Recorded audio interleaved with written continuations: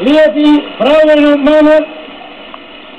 Herr, National, Herr Nationalbankpräsident, Frau Regierungsrätin, Herr Regierungsrat, liebe Parteifreunde, liebe Sympathisanten von der SVP vom Kanton Zürich da im Albus Gütli,